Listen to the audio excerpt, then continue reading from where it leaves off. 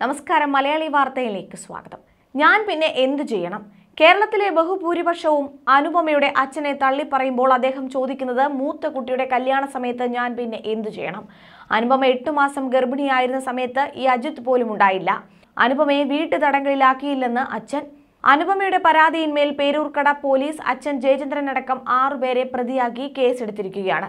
തന്റെ കുടുംബത്തിന്റെ മാനക്കേട് ഒഴിവാക്കാനാണ് താൻ അങ്ങനെ ചെയ്തതെന്നാണ് അച്ഛൻ പറയുന്നത്. അനുപമ എട്ടു മാസം ഗർഭിണിയായിരുന്ന സമയത്ത് അവളെ പരിചരിക്കാൻ ആരുമുണ്ടായിരുന്നില്ല ഇപ്പറയുന്ന പറയുന്ന അജിത്തും എവിടെയായിരുന്നു? ഇക്കാര്യങ്ങളെല്ലാം പുറത്തെറിഞ്ഞിരുന്നെങ്കിൽ നിശ്ചയിച്ചുറപ്പിച്ച മൂത്ത മകളുടെ വിവാഹം നടക്കില്ലായിരുന്നു. മുന്നിൽ മറ്റു വഴികളൊന്നുമില്ലാത്തതിനാൽ കുഞ്ഞിനെ ശിശുക്ഷേമ സമിതിയിൽ ഏൽപ്പിക്കാമെന്ന് പ്രസവത്തിന് മുൻപേ തന്നെ ഞങ്ങൾ തീരുമാനിച്ചിരുന്നു. വിവാഹബന്ധത്തിലൂടെയല്ലാതെ ഒരു കുഞ്ഞിനെ പ്രസവിച്ച് നാണക്കേട് ഒഴിവാക്കാൻ അനുപമയും ആഗ്രഹിച്ചിരുന്നു. അനുപമയുടെ അനുമതിയോടെയാണ് കുഞ്ഞിനെ ശിശുക്ഷേമ സമിതിക്ക് കൈമാറിയത് എന്നാണ് ജാമ്യ ഹർജിയിലെ പ്രധാന വാദം. മാത്രമല്ല സഹോദരി അഞ്ജുവിന്റെ കല്യാണം നടന്നത് കുഞ്ഞിനെ കൈമാറിയ ശേഷമാണ്. അനുപമ വിവാഹത്തിൽ വളരെ സന്തോഷവതിയായി പങ്കെടുത്തതിന് തെളിവുണ്ട്. അനുപമയെ വീട്ടുതടങ്കലിലാക്കിയിരുന്നു എന്ന വാദം ശരിയല്ല. അനുപമയും അജിത്തും ഭാര്യ ഭർത്താക്കന്മാരായിരുന്നില്ല. ലിവിംഗ് ടുഗദർ ആയിരുന്നു. അജിത്തിന്റെ ആദ്യ വിവാഹമോചനം കഴിഞ്ഞ് ഇവർ ഒന്നിച്ച ശേഷമാണ് കുഞ്ഞിന്റെ ആവശ്യവുമായി രംഗത്ത് വന്നത്.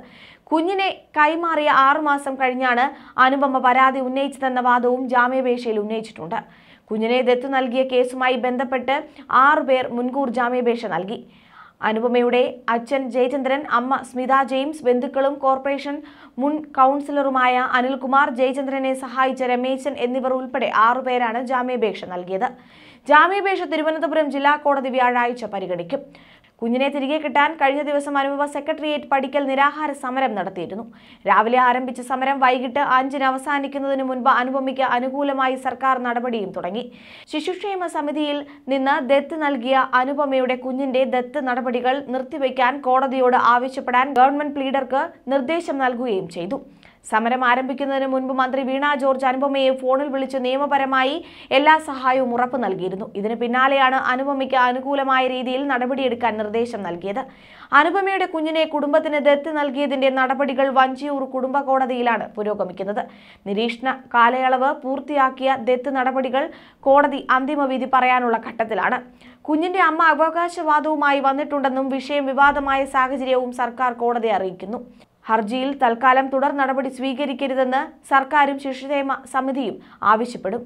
മന്ത്രി വീണ ജോർജ് ഇത് സംബന്ധിച്ച് നിർദ്ദേശം ഗവൺമെന്റ് പ്ലീഡർക്ക് നൽകിയിട്ടുണ്ട്. ആറുമാസ നിരീക്ഷണ കാലയളവിൽ ദത്തെടുക്കുന്നവർ കുട്ടിയെ പരിപാലിക്കുന്നതിൽ വീഴ്ച വരുത്തിയോ ദത്ത് നടപടികളിൽ വീഴ്ചയുണ്ടെന്ന് കണ്ടെത്തുകയോ ചെയ്താൽ കുഞ്ഞിനെ തിരികെ ഏൽപ്പിക്കാൻ കോടതി നിർദ്ദേശിക്കും. ഇത് വേഗത്തിലുള്ള നടപടിയാണ്. സർക്കാർ നടപടിയെക്കുറിച്ച് അറിഞ്ഞതോടെ നീതി ലഭിക്കുമെന്ന പ്രതീക്ഷ പങ്കുവച്ചാണ് അനുപമ സെക്രട്ടേറിയറ്റിന് മുന്നിൽ നിന്ന് മടങ്ങിയത്. ഇതിന് പിന്നാലെയാണ് വെളിപ്പെടുത്തലുമായി അച്ഛനും രംഗത്തെത്തിയത്. ന്യൂസ് ഡെസ്ക് മലയാളി വാർത്ത.